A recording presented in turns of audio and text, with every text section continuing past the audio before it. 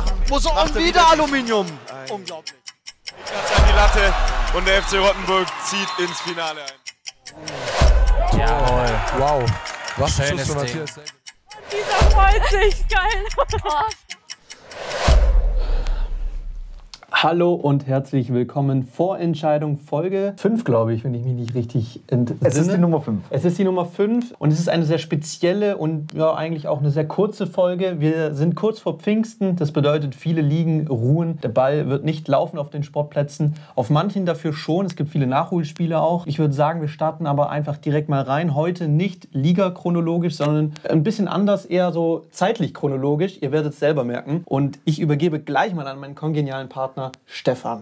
Was für eine tolle Ankündigung, Matze. Ich bedanke mich. Servus, Leute. Ich habe euch als erstes ein Spiel aus der Verbandsliga mitgebracht. Anpfiffszeit kommenden Samstag 14 Uhr. Und es geht um den TSV Ilshofen und die empfangen den VfL Volling. Der TSV Ilshofen, aktuell Tabellenzwölfter mit 40 Punkten, empfängt wie gesagt den VfL Volling. Die sind Zehnter mit 42 Punkte. Sprich, da könnte man vorbeiziehen. Eine absolute Vorentscheidung. Wir haben noch drei Spieltage zu gehen in dieser Saison. Der TSV Ilshofen schaut auf eine negative Tordifferenz von 57 zu 64. Da ist der VfL Fulling ein bisschen fairer bisher in der Saison gewesen mit 55 Toren und ebenfalls 55 Toren gefangen. Auch die aktuelle Formkurve beider Mannschaften lässt jetzt nicht gerade einen Favoriten sich rauskristallisieren. Die TSV haben mit zwei Unentschieden im Sieg und zwei Niederlagen. Der VfL Volling mit einem Sieg, einer Niederlage, Unentschieden, Niederlage, Sieg. Also alles dabei in den letzten Wochen. Hinspiel ging Unentschieden aus, 1 zu 1. Und es ist jetzt auch wieder keine Partie, wo wir sagen können, hier, ähm, hier trifft eine heimstarke Mannschaft auf ein starkes Auswärtsteam, sondern ganz im Gegenteil, für beide nicht gerade der beste Platz, zumindest im Hinblick auf die Saison. Die TSV tut sich schwer zu Hause, der VfL Fullingen ebenfalls auswärts wenig Punkte geholt. Ilshofen in der Hinrunde die bessere Mannschaft gewesen, der VfL Fullingen dafür in der Rückrunde mit mehr Zählern ich glaube, es ist auf jeden Fall eine ausgeglichene Partie. Es ist eine Partie, in der es um sehr viel geht. Wir haben beim TSV Ilshofen einen Top-Torjäger in Form von Michael Eberlein, der auf zwölf, Tor zwölf Tore gekommen ist bisher. Dominik Grauer mit sieben Toren der beste Torjäger beim VfL Fulling. Und da bekomme ich jetzt gerade ein bisschen Déjà-vu, ja, wenn ich so an früher denke. Ist Dominik Grauer einfach immer, wo er kickt, irgendwo der beste Torjäger. Der aktuelle Stand in der Tabelle sieht wie folgt aus, dass wir mit dem VfL Sindelfingen den Tabellen 11. 40 Punkte, der FV Biberach Tabellen 13. ebenfalls 40 Punkte und auch die SSV Ehing Süd mit 38 Punkten ist hier noch nicht ganz abgeschnitten. Der VfL Fulling muss natürlich jetzt auch nach dem, und es bleibt für mich, Grüße an Jan Herrmann, ein Fiasko, ein Skandal, was mit der zweiten Mannschaft passiert ist, die müssen das natürlich besser machen. Der VfL Fulling 1, für mich mittlerweile eigentlich auch kein Fahrstuhlteam mehr, sondern eine gestandene Verbandsligamannschaft. Ich bin auch überzeugt davon, dass der VfL Fulling die Klasse hält. Ich glaube aber nicht, dass es am kommenden Wochenende für einen Sieg bei Ilshofen reicht. Ich gehe da mit dem Hinspielergebnis und tippe auch auf ein Remis. Der VfL Fulling entscheidet das dann lieber daheim am Janhaus vor eigener Kulisse. Ich glaube, was für den VfL Fulling ganz, ganz praktisch auch wäre, klar ist das manchmal leichter gesagt, Thema Neuner, Thema Stürmer. Sieben Tore, dein Top-Torjäger, ist schon wenig. Wenn, ich habe sonst gar nichts mehr zur Verbandsliga. Wir können von mir aus gerne noch weitergehen. Wir machen weiter und gehen direkt eine Liga hoch zu einem anderen Verein, mit dem wir es in den letzten Wochen gelegentlich zu tun hatten und der ebenfalls in einer Krise steckt. Es geht natürlich um den SSV Reutlingen in der Oberliga. Die spielen am Wochenende, Samstag, 15.30 Uhr beim FC Nöttingen. Der FC Nöttingen, Tabellenelfter mit 42 Punkten, der SSV Reutlingen mit Tabellen 13. mit 37 Punkten. Letzte Woche war das die Partie gegen Holzhausen. Ich habe mir von mehreren Seiten sagen lassen, dass es keine ansehnliche Partie war, dass beide Mannschaften sehr viel, um es genau zu sagen, hat man zu mir gesagt, da wurde getrabt teilweise. Ja, also man ist, beide Mannschaften wollten scheinbar nicht richtiges Risiko gehen. Wir gucken uns den FC Nöttingen mal geschwind an. 63 zu 65 Tore der, im Verhältnis. Der SSV hat 45 zu 58. Gut, da hat sich nichts geändert natürlich. Die Form von Nöttingen, die ist auf jeden Fall besser. Niederlage, drei Siege und eine Niederlage. Der SSV hat in den letzten fünf Partien keinen Sieg verbuchen können. Unentschieden, Niederlage, Unentschieden und ebenfalls davor zwei Niederlagen. Das Hinspiel hingegen ging 3 zu 2 für den SSV Reutlingen aus, vor heimischer Kulisse. Generell gab es seit dem September 2011 19 Partien mit 12 Siegen für Nöttingen. Zwei Unentschieden und nur fünf für den SSV. Top-Torjäger beim FC Nöttingen ist Nikolaus Dobros mit 14 Tore, hat damit ein Tor mehr wie der Top-Torjäger vom SSV Reutlingen, Gorgio- Gorgiolone mit 13 Buden. Ist eine Partie auf Augenhöhe. Gar keine Frage, ist eine Partie auf Augenhöhe. Der SSV Reutlingen muss, da baue ich den Druck auf jeden Fall weiterhin auf. Ja, ich finde, da hätte man schon gegen Holzhausen gewinnen dürfen letzte Woche und sich natürlich ganz wichtig Luft verschaffen. Was natürlich noch für den SSV oder was denen praktisch noch in die Karten spielt, ist, dass wahrscheinlich weniger Mannschaften absteigen. Wir gehen aber jetzt noch mit der aktuellen Tabelle und da belegt man noch den ersten Abstiegsplatz. So, und was du gar nicht jetzt erwähnt hast und was mir aber gerade auffällt, das ist der letzte Spieltag. Das ist der allerletzte Spieltag in der Oberliga. Und das bedeutet, der SSV muss gewinnen. Die haben gar keine andere Wahl und hoffen, dass Offenburg äh, verliert. Dann sind sie punktgleich mit Offenburg, haben aber das deutlich bessere Torverhältnis und Ja. wären damit raus aus dieser, aus dieser Abstiegszone. Für dich gehört der SSV in diese Oberliga, hast du gemeint? Absolut. Und auf gar keinen Fall in die Verbandsliga. Nee, das wäre, das, das, wäre- das wäre ein Unding.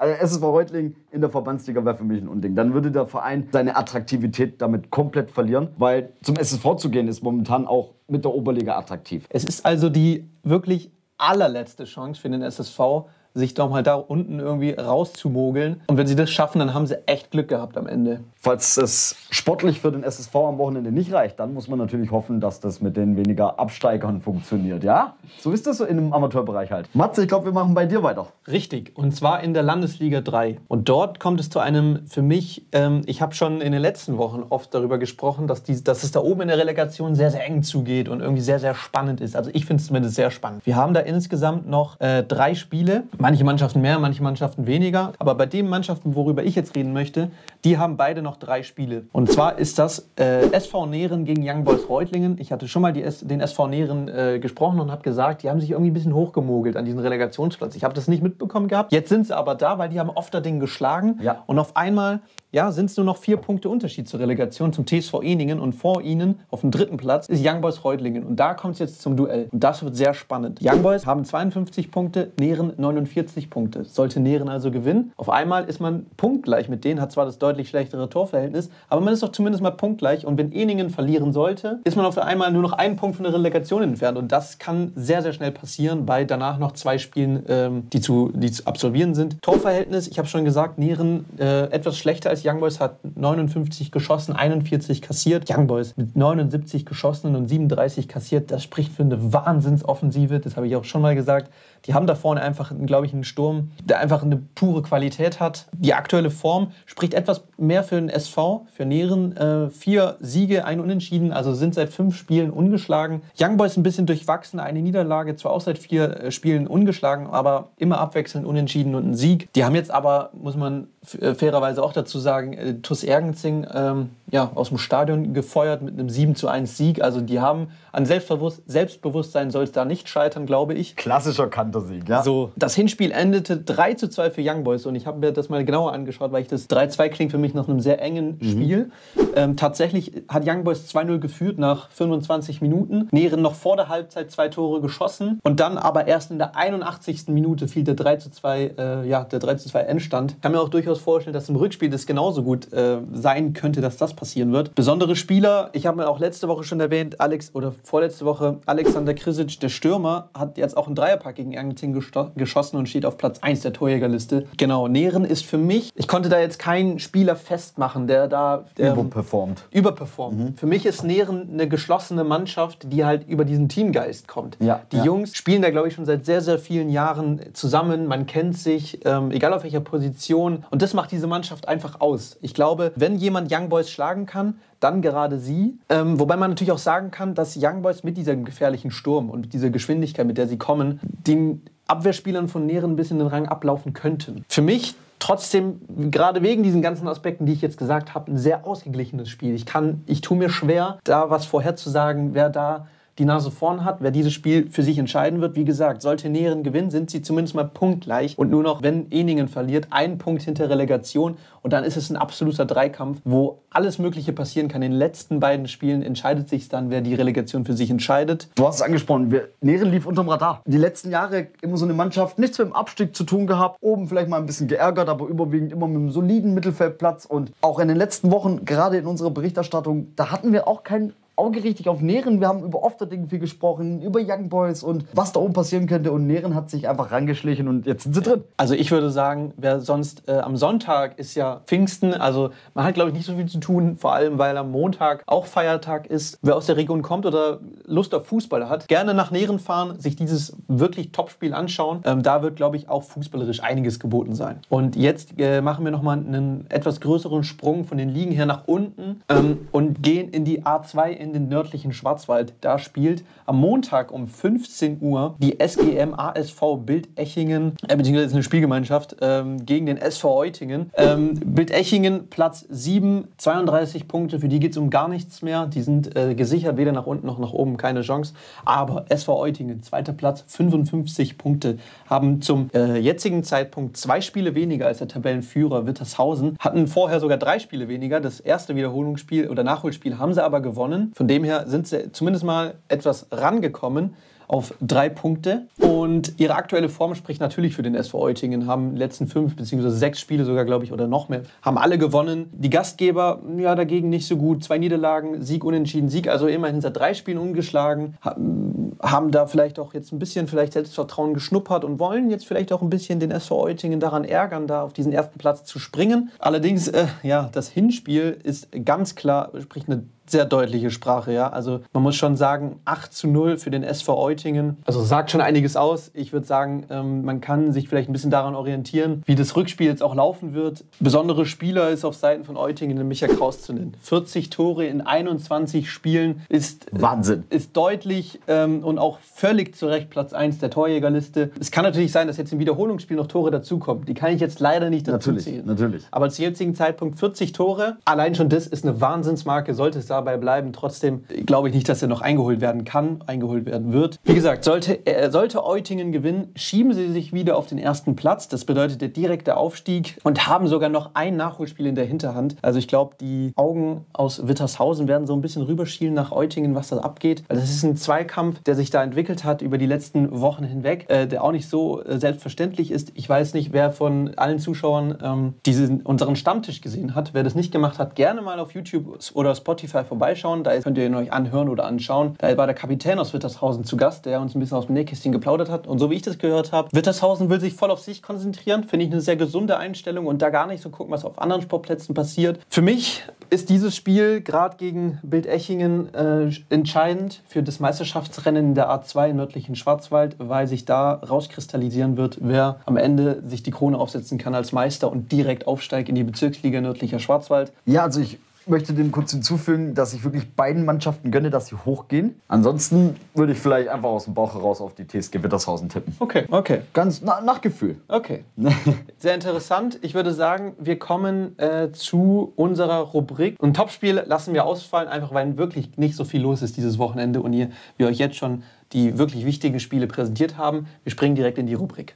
In die Rubrik Pfiff der Woche. Und der führt uns nochmal zurück zum TSV Ilshofen und dem VfL Fullingen, weil da wird die Partie geleitet von Tobias Lauber und seinem Schiedsrichterteam. Tobias Lochmüller und Ulrich Gärtner. Tobias Lauber, Schiedsrichtergruppe Feigen. Sein Verein der Zugehörigkeit der TSV Klein, TSV Klein Gladbach. An der Stelle habe ich noch nie gehört. Du, Matze? Nee. Klein Gladbach war interessant bei der Recherche. Klein Gladbach. Also die großen Gladbacher spielen in der Bundesliga, das ist nur Klein Gladbach. Genau, und da hoffe ich, dass es bei den kleinen Gladbachern besser läuft. Wie beim Team von noch Daniel Farke. Zurück zu Tobias Lauber. Ich habe nur seine Landesliga-Partien gefunden. Ich bin mir sicher, der Mann hat auch schon anderes gepfiffen, aber in den letzten zehn Jahren kommt er auf 123 Einsätzen in der Landesliga, bei denen er 144 Mal gelb zeigte, dreimal gelb-rot und sechsmal glattrot. Und ich finde immer, dass das im ersten Moment irgendwie viel klingt. Ist es aber nicht. Nö. Einmal kurz geteilt durch die Spiele. Ganz wenig Karten hat er da eigentlich verteilen müssen. Im Schnitt etwas mehr als eine Karte. Ich glaube, der Mann lässt viel laufen, oder? Ja, absolut. Also ich glaube, der wartet auch gerne ein bisschen die, äh, die Vorteilssituationen ab und versucht einfach den Spielfluss zu halten und Schiedsrichter guckt, dass ihr es laufen lasst. Es gibt Fouls und Aktionen, die musst du abpfeifen, gar keine Frage, aber es ist, jeder Fußballer kennt es, zu viele Pfiffe, der ständige Unterbrechung, tut dem Fußball nicht gut, macht den Zuschauern auch keinen Spaß. Deswegen, wenn es geht, gerne so, wie Tobias Lauber das überwiegend handhabt. Viel Landesliga, du sagst es, ich habe es auch mal vor mir. Ähm, ich mache mir da keine Sorgen. Ich glaube, gerade für dieses Spiel, der Verband ist sich sicherlich bewusst, um was es da geht. Ja, Wir haben es angesprochen bei Pfullingen. Da ist es wirklich, ähm, da geht es noch um einiges. Also für beide Mannschaften. Die einen können sich etwas Platz verschaffen, die anderen können vielleicht etwas rausspringen. Dementsprechend werden beide an, an dieses Spiel rangehen. Es wird wahrscheinlich körperlich zur Sache gehen. Ja. Gehe ich von aus. Und dann ist da ein erfahrener Mann mit 37 Jahren. Ich glaube, der Kollege wird da, schon, ähm, wird da schon wissen, was er tut. Und äh, ich mache mir da gar keine Sorgen, dass wir da einen erfahrenen Schiedsrichter Wahrscheinlich haben. auch bewusst gewählt, ein Schiedsrichter, der es eher ruhiger angehen lässt Genau. für eine mögliche sehr hitzige Partie am kommenden Samstag. Und eigentlich sind wir damit schon am Ende dieser Folge angelangt. Äh, Streams wird es keine geben, erst nächste Woche wieder, dazu aber dann nächste Woche mehr. Ähm, vielen Dank für alle, die eingeschaltet haben. Schreibt mal wieder unten rein. Beziehungsweise schreibt mal dieses Mal nicht rein, wo ihr auf welchen Sportplätzen seid oder was wir vergessen haben. Schreibt mal rein, was ihr an Pfingsten eigentlich so treibt. Ich, mich würde es mal interessieren, seid ihr an Pfingsten eher Team, ich möchte trotzdem so viel Fußball konsumieren, wie es geht? Oder, nee, jetzt habe ich schon spielfrei oder kein Spiel oder es ist, geht sowieso wenig, jetzt gönne ich mir auch mal eine komplette Pause äh, vom Fußball und mach mal und beschäftige mich was mit, mit was ganz anderem. Schreibt es mal unten rein. Und von dir ganz kurze Einschätzung, wie machst du es? Also bei mir wird es am Samstag noch viel Fußball geben. Am Sonntag wird es dann doch eher familiär. Und der Montag ist noch offen, bin ich ehrlich. Der Okay. Montag ist noch offen, Also Leute. wer Montag was geplant hat, gerne mal bei Stefan melden. Ähm, der, hat, der hat da Zeit und könnte da vorbeischauen. Äh, ich habe auch Zeit, also gerne auch bei mir melden, so ist es nicht. Bei mir wird es auch wahrscheinlich ruhiger angehen, aber war es auch die letzten Wochen so oder so. Ähm, nichtsdestotrotz, schreibt es unten mal gerne rein, lasst ein Like da, lasst ein Abo da, wer es noch nicht gemacht hat, würde uns sehr freuen. Und wer sonst Fußball ganz viel konsumieren möchte, schaut gerne auf Instagram vorbei. Und wie gesagt, alle al- alten äh, Folgen vom Stammtisch gerne mal reingucken auf YouTube oder aber auch auf Spotify, Sportlerfrühstück. Und ich verabschiede mich schon mal, wünsche allen frohe Pfingsten oder wie man auch immer das sagt. Ich weiß es gar nicht. Genießt die Feiertage auf jeden Fall, genießt Ich glaube, die Pause. Frohe Pfingsten, Ja, oder? gell? Ich glaube auch. Bleibt gesund, habt euch lieb und die letzten Worte hast du, wie immer. Wahnsinn. Ich, ich würde jetzt gerne einfach mal was anderes sagen wie frohe Pfingsten. Ich wünsche euch coole Pfingsten. Ja, mal coole Pfingsten. Ja, dieses frohe, dieses Friede, Freude, Eierkuchen ist manchmal langweilig. Habt richtig viel Spaß, genießt die Tage. Bis zum nächsten Mal. Ciao, Freunde.